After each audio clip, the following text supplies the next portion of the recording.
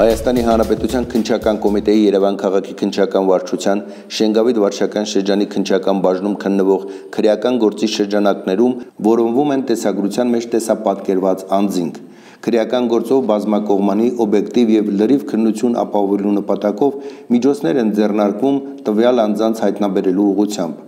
Խնդրում ենք նշված անձանց ներկայանալ վարույթն իրականացնող մարմնին կամ ովքեր ճանաչում են նրանց, որևէ տեղեկություն ունեն նրանց ինքնության կամ գտնվելու վայրի մասին, հայտնեն քնչական կոմիտեի Երևան քաղաքի քնչական վարչության Շենգավիթ վարչական շրջանի քնչական բաժին։ Ծանուցում